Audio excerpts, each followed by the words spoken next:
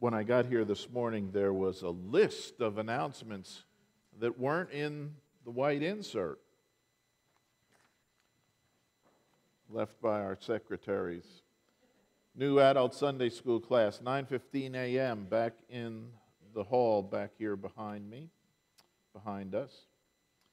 Uh, we're studying uh, Luke and the, uh, the book of Acts, and we'll be on chapter 2, Pentecost Sunday, uh, next week. Don't forget, if you're an elder, uh, the session meets tonight uh, in committees. Um, if you have an update for the prayer list, please let uh, Ann, Beth, Kelly, or Reverend Skelly, and whoever wrote the note had in parentheses myself, or me, uh, if you have any updates for the prayer list. Um, so please uh, do that. You'll notice on the purple paper,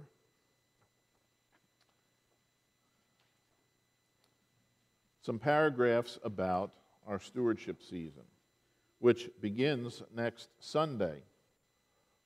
Uh, and we're going to begin uh, next Sunday in our stewardship season by reading the book called Stone Soup uh, with our children. And so I need everybody here to try to remember to bring a can of food. Now, it can be uh, soup can or a vegetable can or canned meat, but please remember uh, to bring a can with you next week. That will be part of the children's message. And just keep it with you in the pew.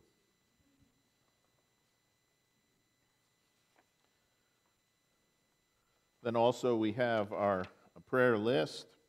Uh, if you look uh, down under uh, on the inside under keeping in touch, uh, this is the little section I use each week to uh, to let you know what's going on with uh, me, and maybe it relates to if I'll be out of town, or it might relate to um, what's coming up in the schedule. During our stewardship season, just so you know, during our worship, we are going to move the doxology to right after the prayer of uh, confession and the assurance of pardon, which is a more usual place for it. Uh, and then we'll be singing um, the first verse of the, the hymn, We Give Thee But Thine Own. Now, somebody said, We don't know that here. Um, you think we do. We give thee but thine own. Yeah, yeah, uh, yeah we know that. Okay. Because uh, for, for 10 years we sang it every Sunday after the offering, so I, it's one of those ones that you, you know by heart or I know by heart. And you might get to know that too. So during our stewardship time, we're going to make that switch, uh, and then following that, we'll move back um, to the familiar order uh, that we have here. And uh, as always, I, I, put in the put in the um, keeping in touch my cell number, uh, which you note is a uh, Nashville, Tennessee number. If you, that number pops up on your cell phone, it's not the guy that's selling you car warranty extensions. It's me. So don't click me off. And we have some other announcements. Beth?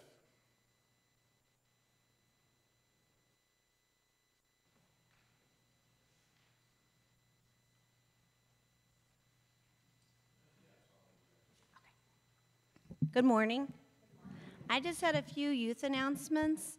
Um, there is like a October calendar because there's lots of events going on for the youth, and it's on the table outside the library if you want to pick one up because I did not get them to our secretary, so they're not in the bulletin, but I will next week. However, I just wanted to highlight so you can plan ahead that our um, Bible studies for youth group are on the 16th, um, we already we had one last week, 16th. So next Sunday evening we'll have a Bible study.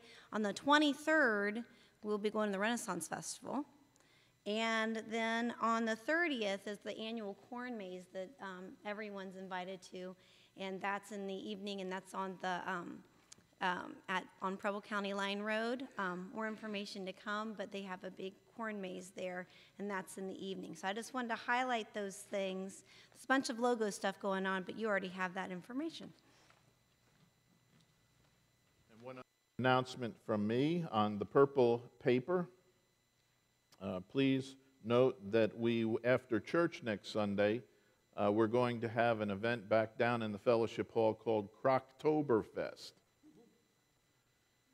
And we're looking for sign-up sheet. We, well, the sign-up sheet's over here. We're looking for people to sign up on the sheet uh, to bring Super Stew, uh, and uh, that'll be part of our opening of our stew stewardship season.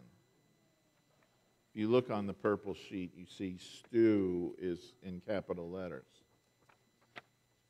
Very clever. Interim pastors are clever like that. For what? Oh, okay. When we have one announcement here. Um, those of you who know Cheryl and Danny Mann, uh, Cheryl's gone through so much chemo, she had cancer, she was doing great.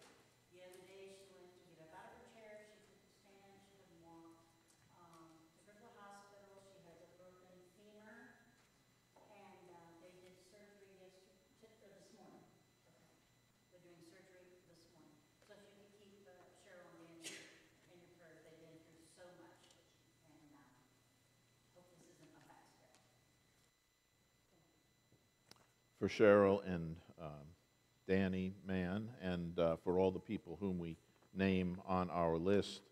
Um, please uh, take that uh, list with you and remember those people in your prayers, um, the, and remember those people and the programs of our church in your prayers this week. And we have another presentation from our youth.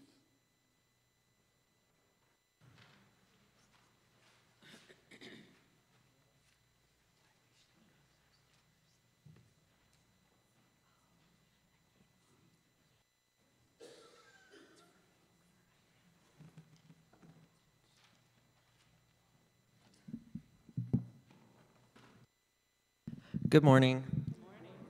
Almost every day, people come asking for help. Some are homeless, some just need a little help until their next paycheck comes in.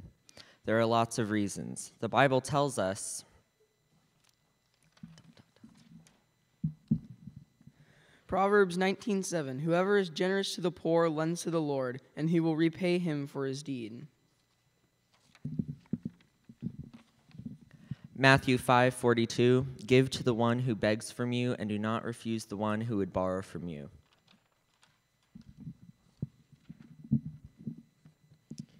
Acts 20:35 In all things I have shown you that by working hard in this way we must help the weak and remember the words of Lord Jesus. How he himself said it is more blessed to give than to receive Our blessing box is to help meet their needs in a simple way Each month we will collect a few items which would be helpful for the season at hand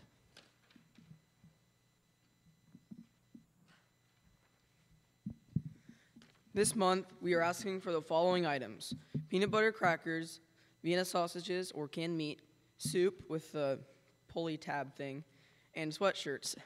We will store the items and give, away, give them away as needed. And if we accumulate a surplus, we will take the extras to the once around shop.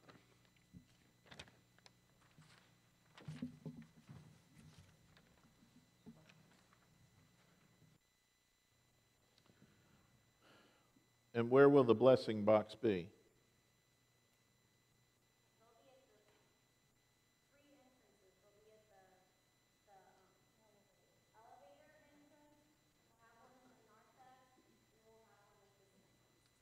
Thank you very much. Thank you. Any other announcements? Let us worship God.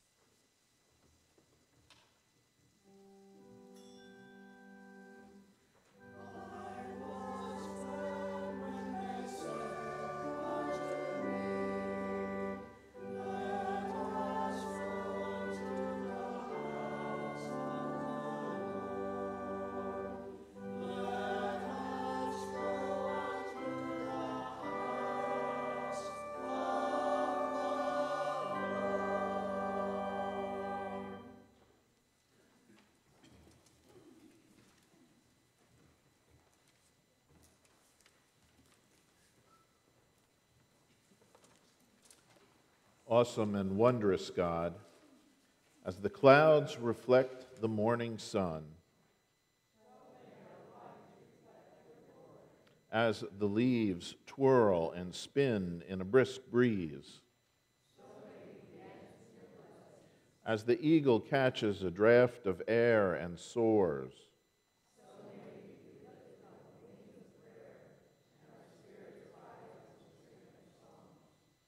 Joyful, joyful, we adore thee. 364.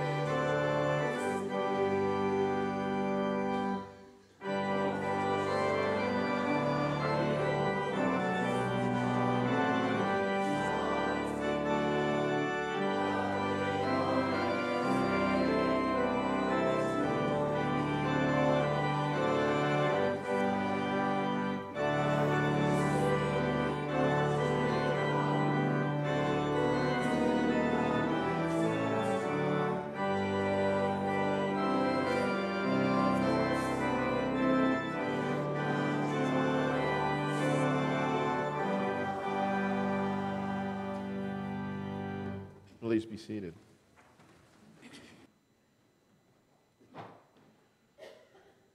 God did not give us a spirit of cowardice, but rather a spirit of power and love and self discipline. Please join me in saying together our prayer of confession. Walking God, our companion on the journey, keep our hearts strong for we are tempted to satisfy the immediate need and neglect the effort need for the long haul. We have given indulging the momentary and popular and given up on hope and your persistent work for good. Forgive us for our half-hearted efforts and willingness to abandon trust in you. Give us faith for the long journey Give us patience when the doors seem blocked, and grant us hope in the darkest moment. For though your way may seem hidden, you are ever you are going to resurrections. This we believe because of Jesus. Amen.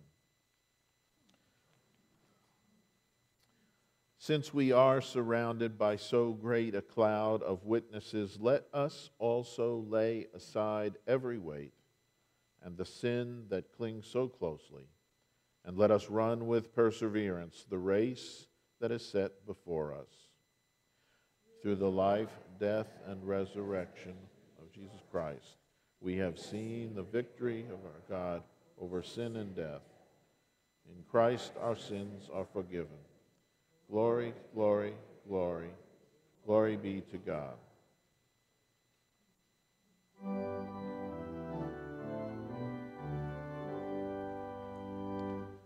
Praise God from whom all blessings flow. Praise Him, all creatures here below. Praise Him above ye heavenly hosts. Praise Father, Son,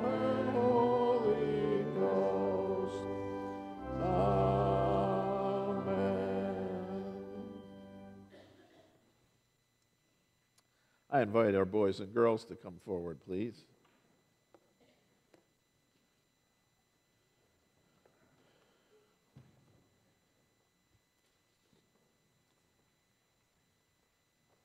And you can be seated either on the floor or in the, one of the first pews here.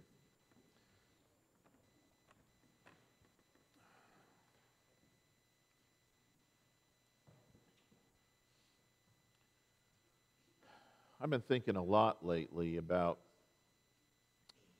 what I do when I'm nervous or stressed out or scared. Um, what are some things that you do if you're stressed out or nervous or scared? How do you get calm again?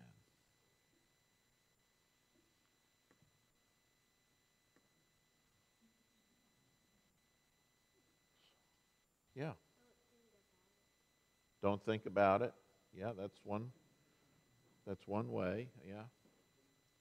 Kind of set that aside.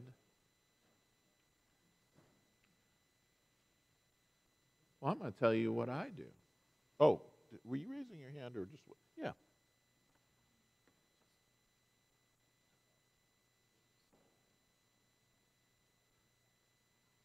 try to do something that you like to do that'll take your mind off it. Yeah, that that's helpful too. Um, yeah, there's there's two things that I've been thinking of. One is, and this was related to what each of you said about not thinking about it or doing something else. I have this rock here, and actually, this rock is from a beach in North Carolina where the storm is today. And look how smooth it is and flat. Here, you can take it and pass it or pass it down. Look at how smooth that rock is. It does look like a pancake. That's exactly right.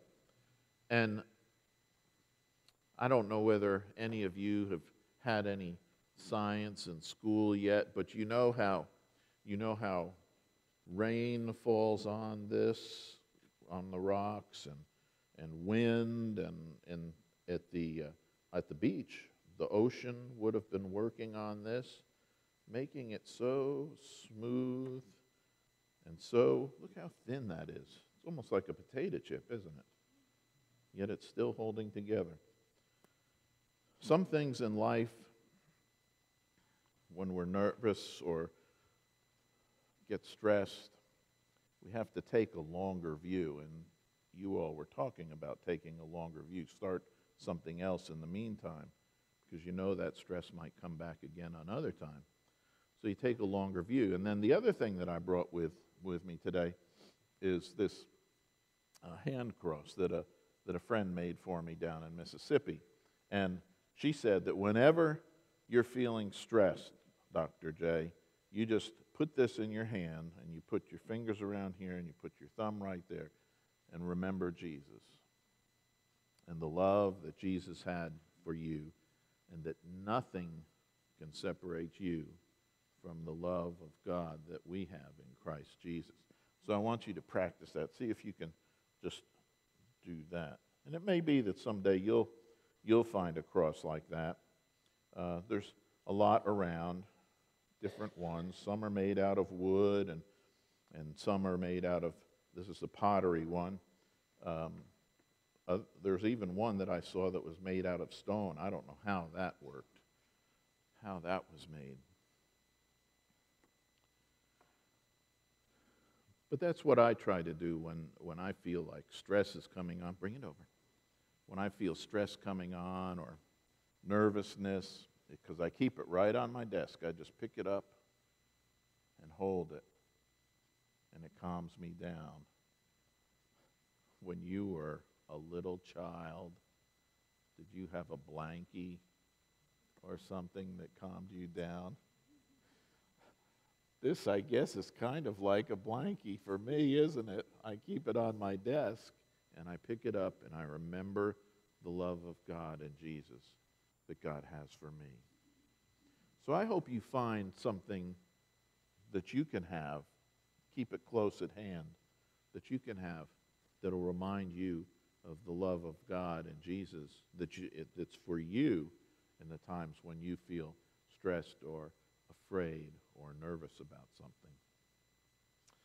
Let's stand or let's gather in a circle and hold hands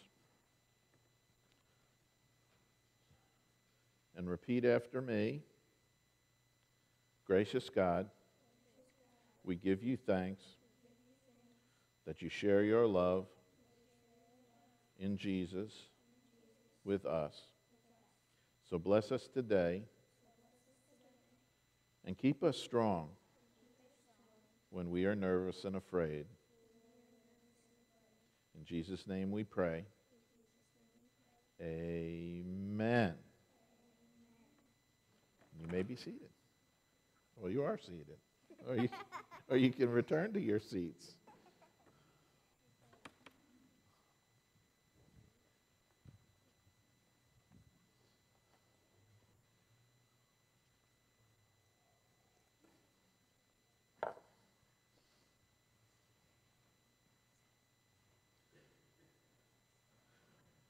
I'll share with you something that you already know, I'm sure, that every congregation has that moment after the children's worship when some people go here and some people go there and some people go there. So it, I can never figure out what it is I should say. Well, go where you need to go, where you're supposed to go. I don't ever want to say go where you want to go. Our first scripture lesson uh, this morning is from Psalm 111, and you'll recognize the first verses, uh, the one that I use as my tagline in keeping in touch. Um,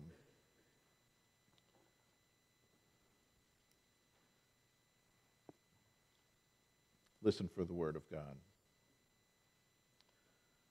Um, praise the Lord. I will give thanks to the Lord with my whole heart in the company of the upright in the congregation.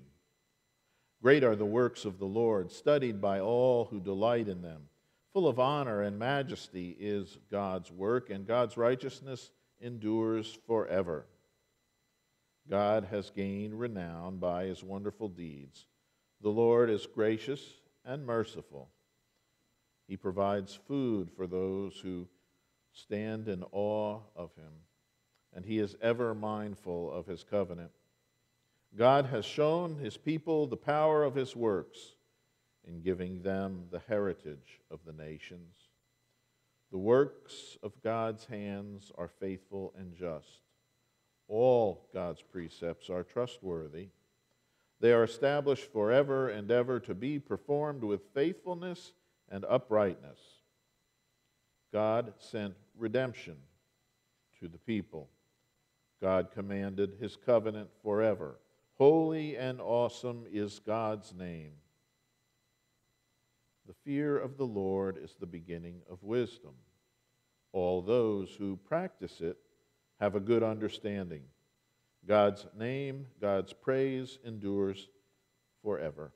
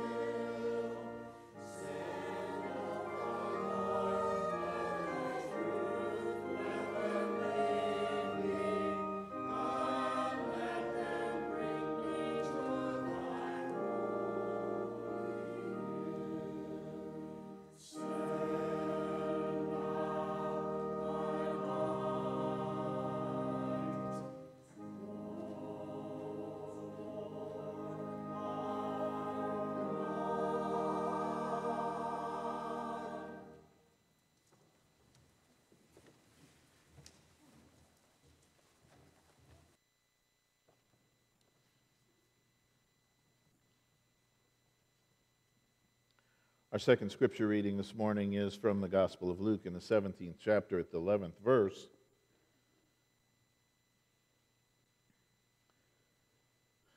It's in a section in which um, Jesus is uh,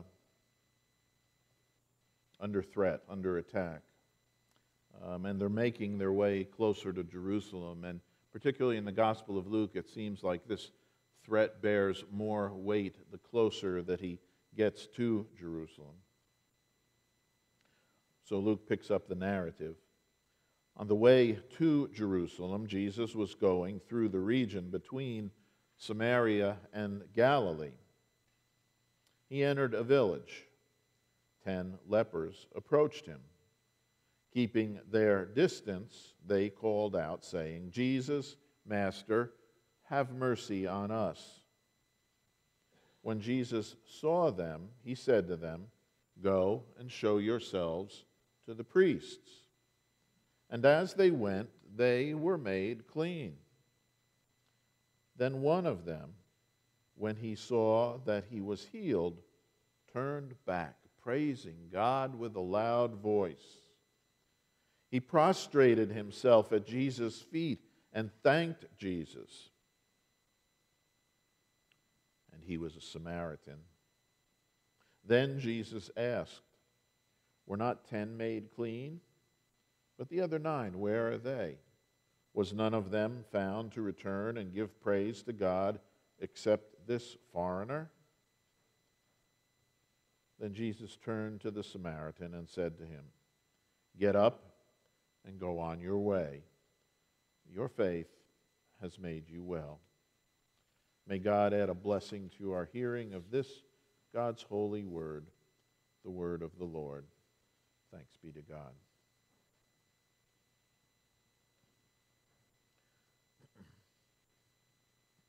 This question is asked many times each day.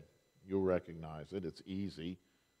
Uh, you're out somewhere and somebody comes up on you, or you get to a place where conversation needs to happen, and, and the person asks, How are you? How are you? The, the default reply, at least from my experience, is usually, I'm fine. How are you?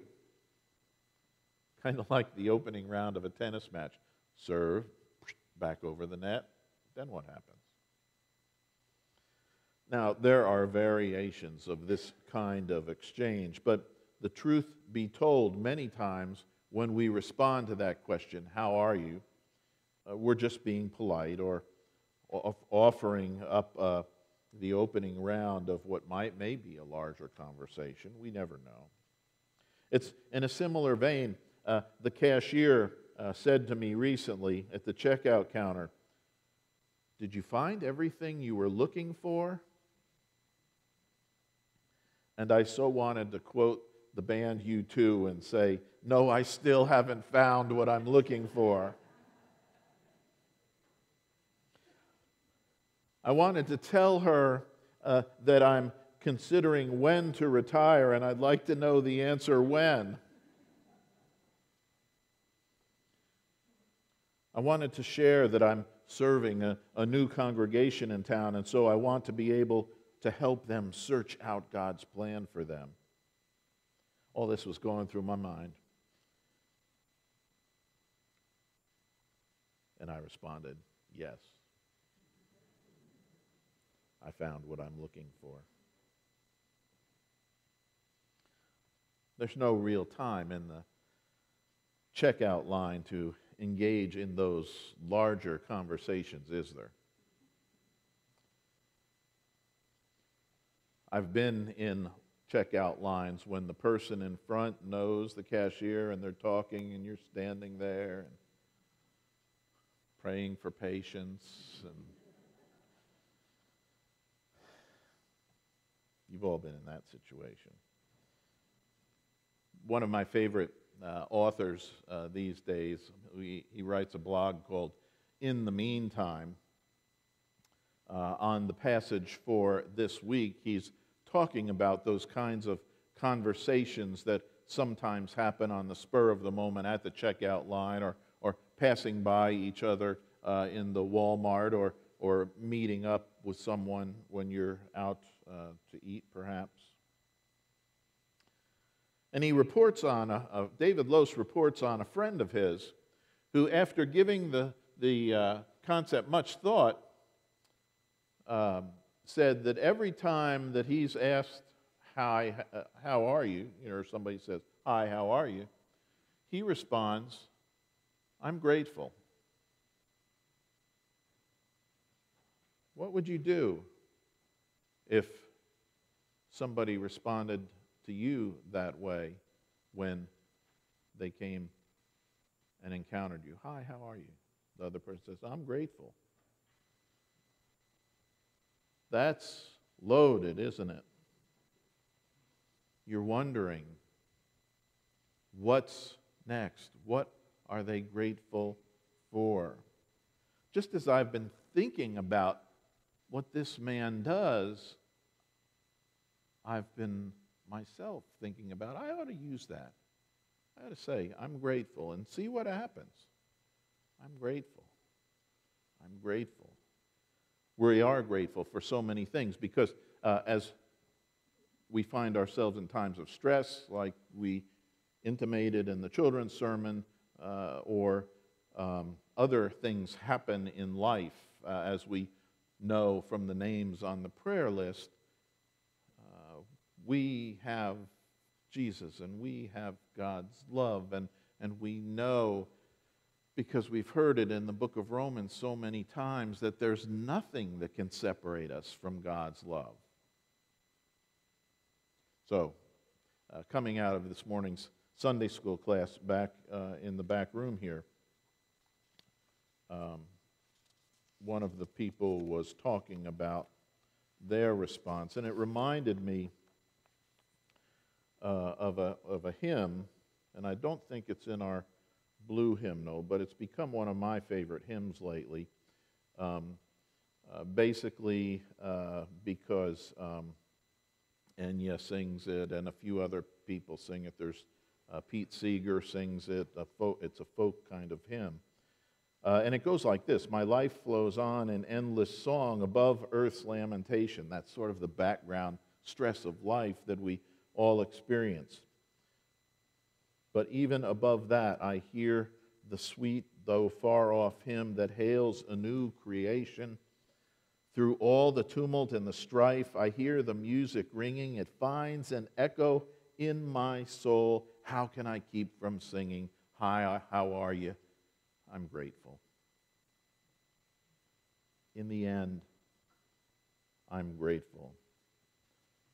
Since first I learned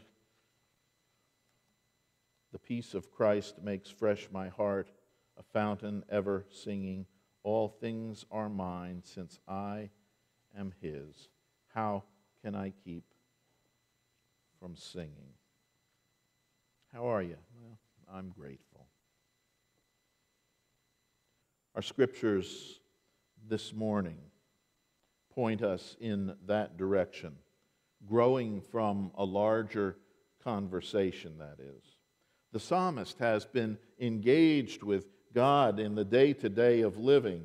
And the psalmist can say with, without hesitation a, a bold description of his relationship with God and his proclamation about God. It says he can stand in the midst of the congregation and make this proclamation I will give thanks to the Lord with my whole heart. And then the Gospel of Luke, in this passage of the lepers. And the ten go through the checkout line, and uh, their lives are changed, but one comes back and says, I'm grateful. Says to Jesus, I'm grateful. And Jesus points to the person's faith. We, we see this kind of pattern, this pattern where Jesus changes life.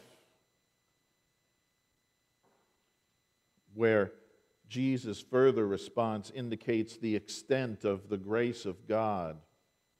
That God's grace extends beyond what we might expect, even to a Samaritan who was a hated person in that day. He was, a Samaritan was considered an enemy of the Jewish nation in that day.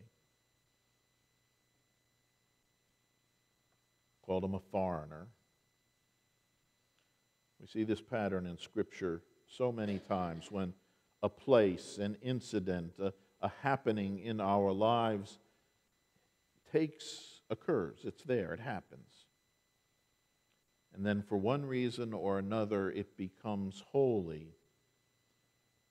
And it becomes a holy space. It's not just a checkout line, but it's a place where we begin to meet God. I'm grateful. God's grace can be seen in life. And even though in the checkout line the person's not expecting me to say, I still haven't found what I'm looking for,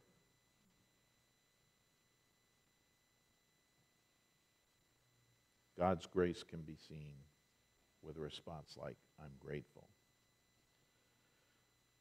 It can happen at it can happen many places, oftentimes at church and oftentimes uh, in other places where there's a long view, where we sum up years of experience.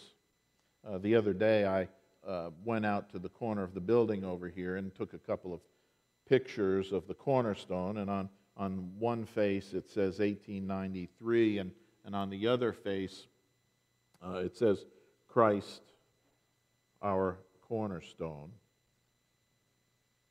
our chief cornerstone this long view of uh, our lives and our movement from place to holy space to an understanding of God's grace. This long view tells the story of God's faithfulness to the covenant. That's what the people who laid that cornerstone talked about. God's covenant with Abraham and Sarah had descendants that outnumbered the stars. The wilderness wanderings are, are talked about but not permanent. Uh, God's sons and daughters uh, will be gathered ho- at home from the east and the west and the north and the south, as we sometimes quote in our communion liturgy. Mary gives birth to Emmanuel, and in three days, Jesus is raised from the dead. God comes through for us always. That's a paraphrase of Jill Duffield, who writes a weekly meditation on the scriptures for the week in the, in the, in the um, magazine, The Presbyterian Outlook. Faith allows us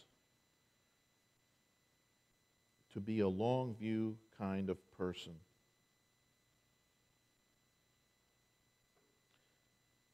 It allows us to wait for the healing hand of God to fall upon us in whatever way it will.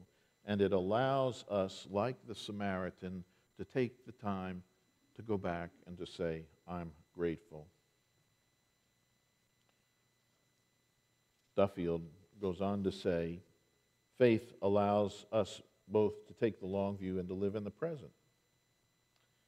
Faith invites us to lean into the future, confident of God's promises regardless of our circumstances. Faith compels us to, to stop, to give thanks, and to sing praise in recognition of the blessings that we enjoy right now. How can I keep from singing? I'm grateful. Faith requires us to remember the gospel, our gospel, Jesus Christ, the one who conquered death and saved us. Saved me. Saved you. She says that the texts for this Sunday call us to take the long view and remember God's promises and God's faithfulness to those promises. we can rest joyfully in the knowledge or in exile or at home.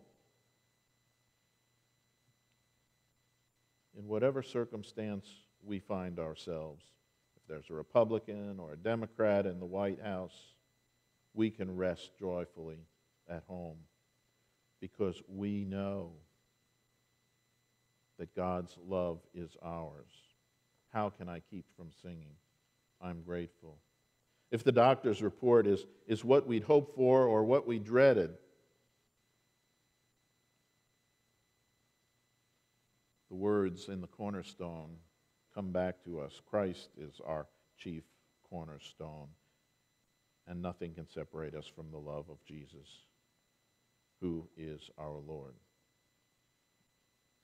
So this week, um, we see the story once again of the nine who go away and who uh, pick up with their lives.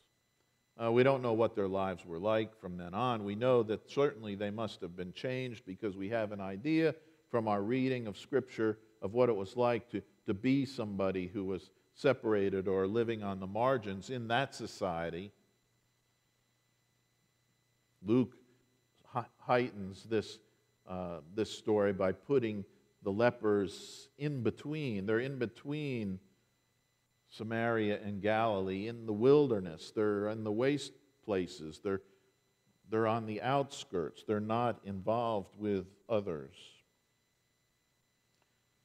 They go and they live their lives, and we don't know much about them, but we know about the one who came back. And what we know is perhaps the best lesson of all, because that one throws himself at Jesus' feet and gives praise to God. He says to Jesus, I'm grateful. Oh man, it's not hard. It's not easy to, to do that, is it? When the doctor reports come in and when you hear the political commentary of the election, it's, it's not it's, it's awful hard to, to remember that within it all uh, there is Jesus and there is love and there is gratefulness that you and I can have in life. And I think probably over the next few weeks I'll be reaching for my little hand cross a lot. But you know, brothers and sisters, you can do it. And you can remember. And you can find your own way, whether it's a hand cross or whether it's setting something aside or whether it's doing something that you like to do instead to, to relieve yourself, to relieve that stress that's, that's within. Whatever it might be, brothers and sisters, you can do it.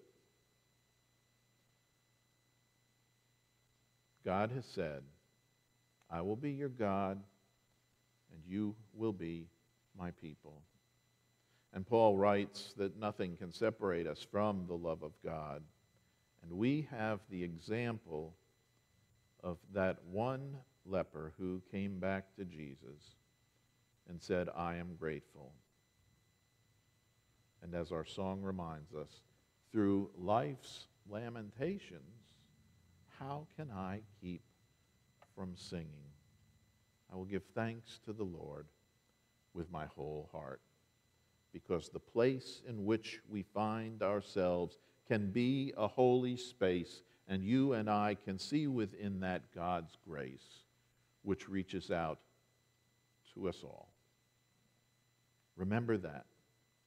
Practice that this week. And maybe if you get real feisty at the checkout line, say to the person when you get there, I'm grateful when they ask you how you are. Or if you're really bold and they ask you, Have you found what you're looking for? Say, Well, I still haven't found what I'm looking for. Amen.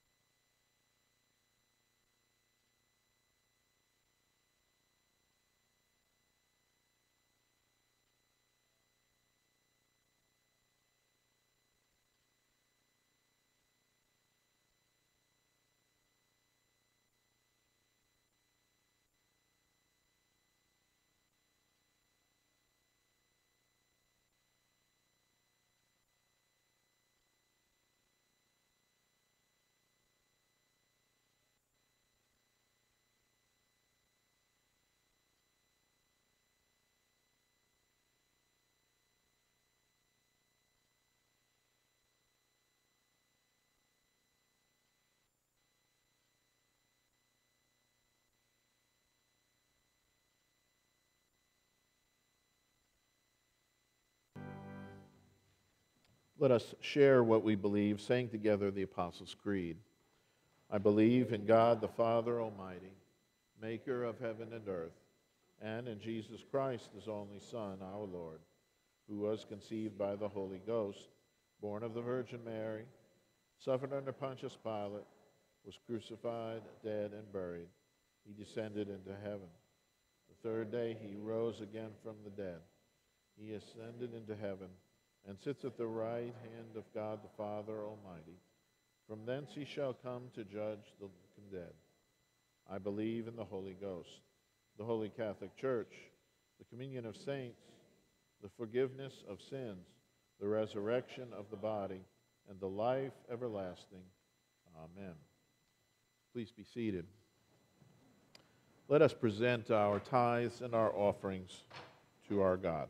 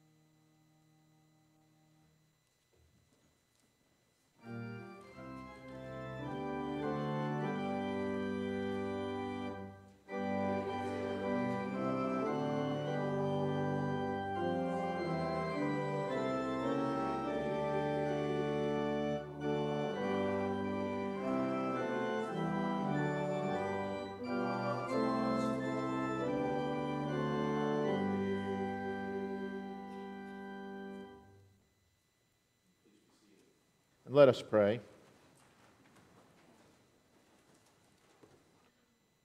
Uh, gracious God, we uh, give you thanks for the ways in which you work in our lives. We thank you that we find a place in the world uh, and that within that place you connect us one with another and that you call to us to be your people. So it is, O God that we attempt and we seek through all our living to love you with heart and mind and soul and strength and to love our neighbor as ourselves. So, O oh God, bless every effort that we make. Um, make this place a place of praise, a holy space living out the intentions of those who founded this congregation so long ago, that people might come to know you better and grow in faith and experience your grace in life, not just within our own lives, O oh God, but in the lives of all the people, your people, your family, the whole world over. We make this prayer in the name of our Jesus, who taught us to pray together, saying, our Father, who art in heaven, hallowed be thy name.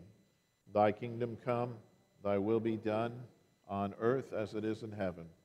Give us this day our daily bread, and forgive us our debts, as we forgive our debtors. And lead us not into temptation, but deliver us from evil. For thine is the kingdom, and the power, and the glory forever.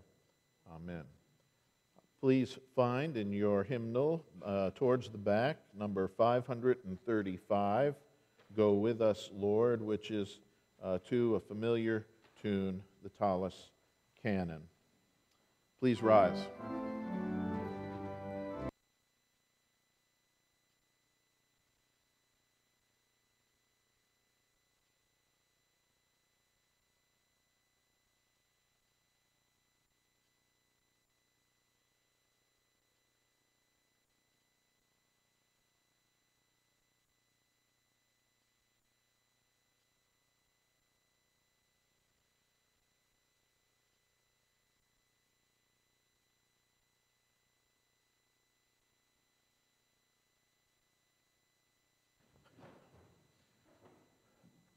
Don't forget to uh, find the sign up sheet for Croctoberfest next Sunday. Uh, we'll be having a, a good time and fellowship one with another. Uh, as you go your way this week, grateful for the Lord Jesus Christ who is in your life, who shares God's love with you. As you go along the way, remember the words that God gave to Moses to say to the people so long ago. May the Lord bless you and keep you. May the Lord make his face to shine upon you and be gracious to you. Uh, may the Lord be turning his face towards you and grant you peace now and in all the days to come. Amen.